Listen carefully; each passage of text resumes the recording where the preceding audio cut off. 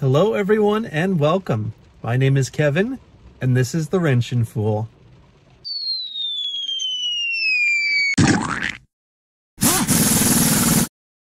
So in this video, we're back in my 2019 Chevy Bolt EV.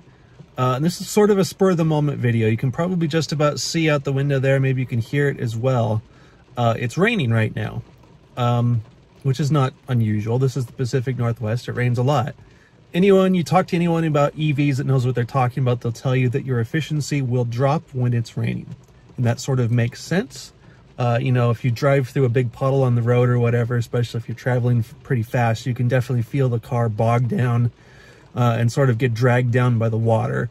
The, the point of this video uh, is to see what effect just the rain has on the efficiency.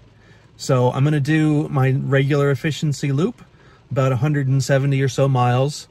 Uh, we've got charged up to 100% here.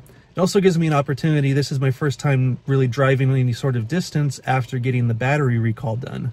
So I want to see, it'll give me an opportunity to test and see if they've changed the capacity, the available capacity of the battery or not. So like I said, we're charged up to 100%. Uh, I just need to go on a plug and then we'll uh, get on the road.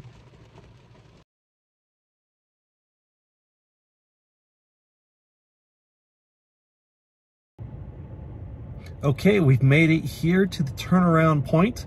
Uh, I haven't been filming any driving footage while on the way out here because it's dark and wet and it just pretty much looks like this.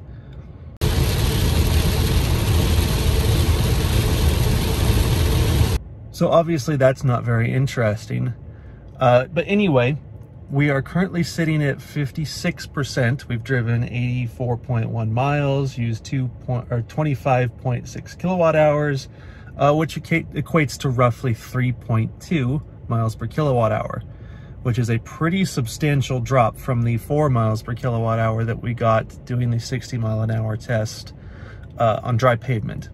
Now, a quick test note here. I was originally planning to do this at 70 miles an hour uh, because I figured that the higher speeds would probably uh, further illustrate the point of the effect that rain has on efficiency.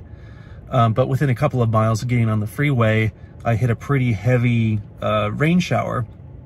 And it became apparent pretty quickly that uh, trying to maintain 70 miles an hour through those heavier showers uh, with half worn out stock efficiency focused tires was just not going to be a safe thing to do. So I opted within that couple of miles of starting the test to slow everything down to 60 miles an hour uh, in the interest of safety, but also to try to keep the speeds as, as consistent as possible on this test. So we'll just uh, compare these efficiency results versus the 60 mile an hour test in the dry and it'll still be perfectly valid. So I'm gonna get back on the freeway, get turned back around, headed home, and uh, let's see how these results turn out.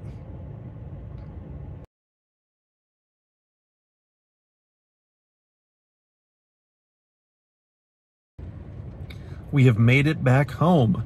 So we've traveled a total of 168.6 miles. We used 49 kilowatt hours of energy exactly to travel that distance. That equates to roughly 3.4 miles per kilowatt hour. So I'm going from memory here, but that's a pretty substantial drop um, from our previous 60 mile an hour test. And again, I did not use the air conditioning or the heat at all. It's about 65 degrees outside right now, so it's not even coat weather at this point, aside from the fact that it's raining. So the only difference there, and there's no wind either, I should mention. So the only difference there is just the rain on the road. So, interesting result. Um, of course, yeah, I knew that there was going to be a re reduction in efficiency there, but it's cool to be able to actually see uh, and quantify the amount.